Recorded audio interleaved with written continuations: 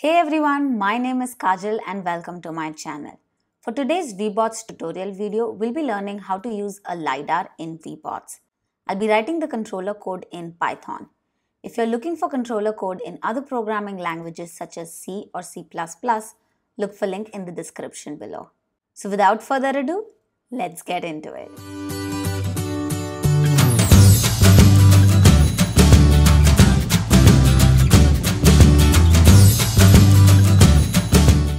Alright, let's start by creating a new project. I'm going on the menu bar Wizards, New Project Directory.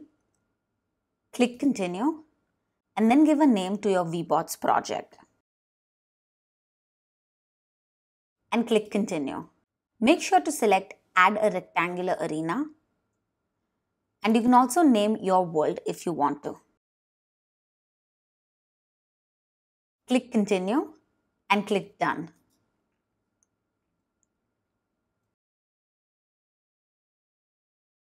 Let's start by adding a robot to our world.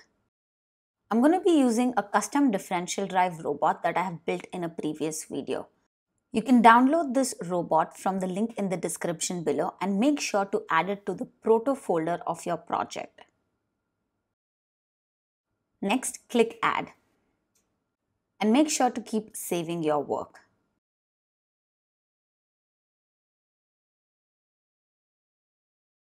We're going to add a LiDAR to this robot. To modify, go on the Webot scene tree, click on the robot and right click and select Convert to Base Nodes. Under Robot, Children, this is where we will be adding a LiDAR. Before adding the LiDAR to Webot's world, I'm going to add a small piece of solid object to act as the mount. I'm simply going to copy and paste the iSolid then click on it and change the transformation. Make x and z equal to 0 and y equal to 0.082.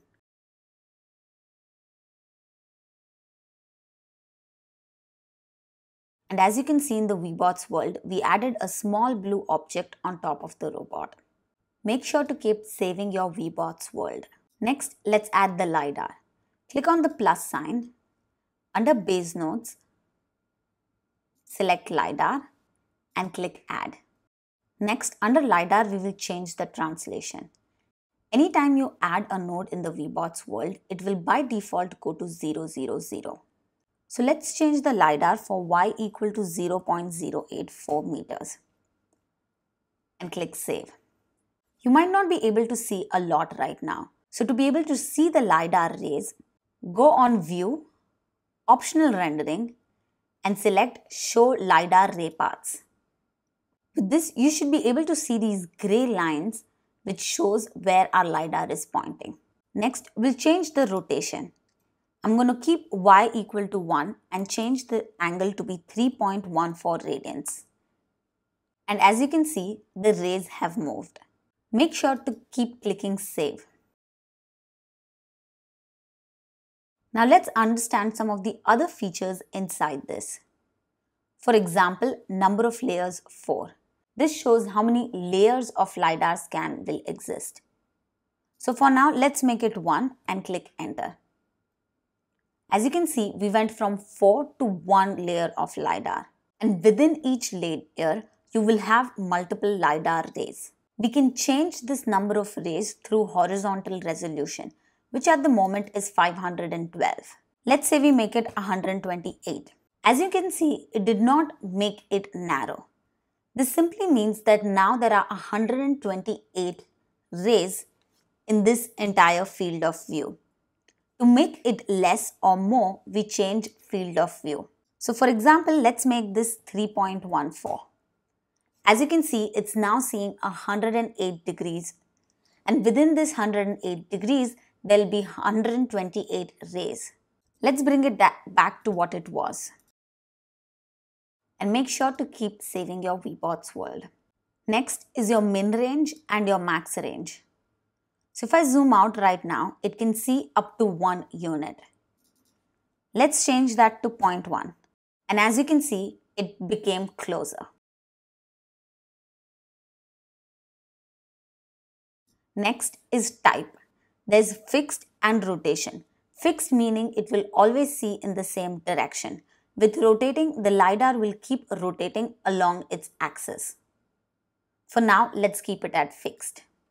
You can explore other options and change them to meet your needs. With that, let's move to the controller code. In this video, I'm writing the Webots controller code in Python. If you're looking for the controller code for LiDAR in Webots in another programming languages, Look for the links in the description below.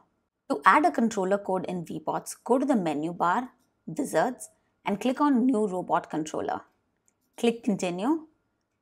Choose the programming language and click Continue. Give a name to your controller and click Continue.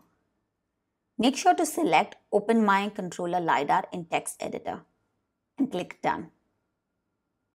As you can see, it will create a default controller code for you with helpful instructions on how to write the code. I'm going to make a few changes to put my code into a function.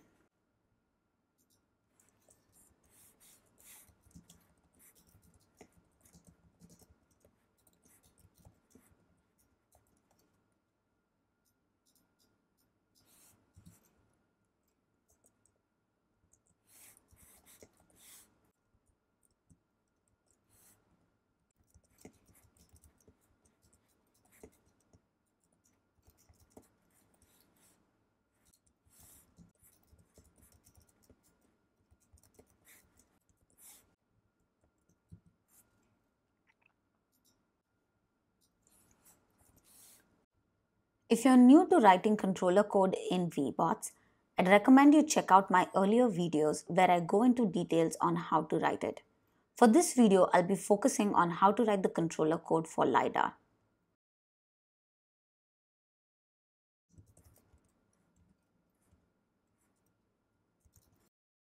For my initial setup, I'm creating two motor instances left and right motor for the two motors on my robot.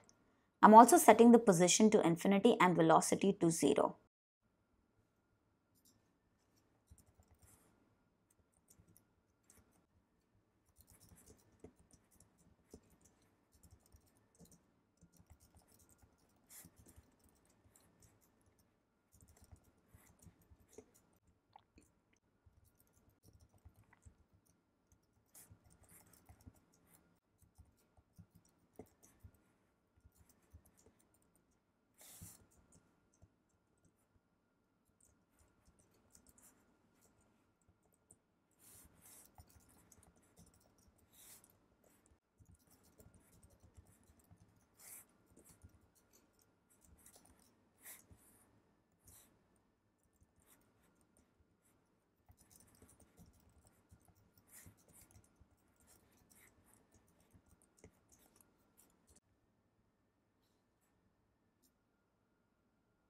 Because we're going to focus on LiDARs, for now I'm simply driving the robot straight by setting both the velocities as same.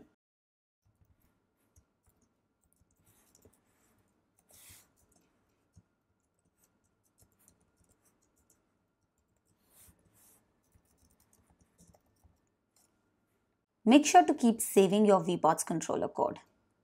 To use the LiDAR, we will need to know the name of our LiDAR. If you go back to the Webots scene tree, under Robot, Children, LiDAR, you'll find an option called Name which currently says LiDAR. If you want, you can change it to something else. For now, I'm keeping it LiDAR. Let's go back to our Webots controller code.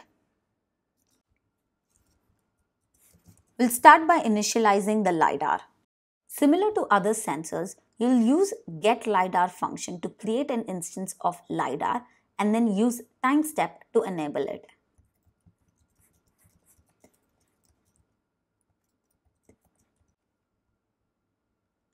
Next, we'll be reading the LiDAR values.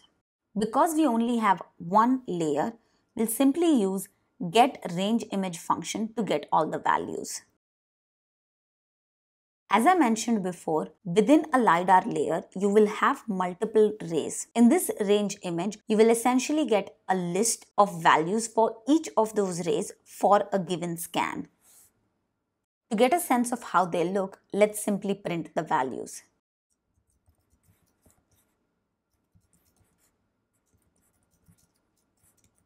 Make sure to save your Webots controller code. Next, in our Webots world, we'll go to the scene tree. Under robot, look for an option called controller. Click select and then select the controller we just wrote from the list. Click OK and make sure to save your Webots world. Now let's run the simulation to see what it looks like. Click on the play button. As you can see, it dumped a lot of data. As you can see in our scene tree,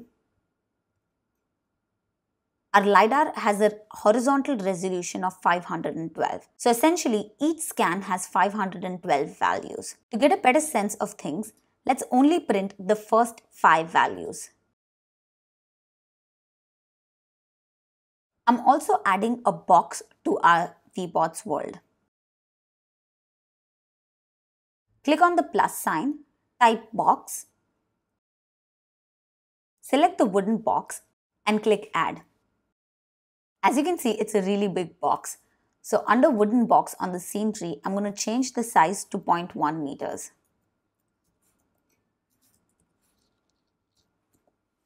And then using the arrows to move it around.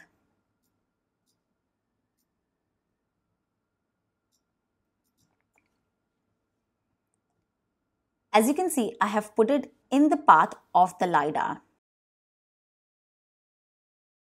Let me show you one other view that you can get in the Webot simulation world. Make sure to reset your world. On your menu bar, click on View, Optional Rendering and click on Show LiDAR Point Clouds. Next, let's run the simulation to see what happens. As you can see, we cannot see the point cloud.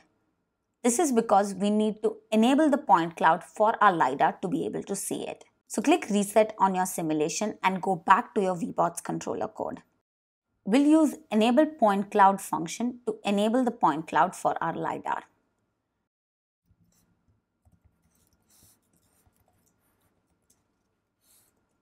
Make sure to save your Webots controller code and let's also clear the console and let's run the simulation. As you can see, we can now see this point cloud. And if you look closer to the box, you can see the rays are blocked by the box and then area behind the box is not seen. Also, we are now only seeing the first five values in our scan.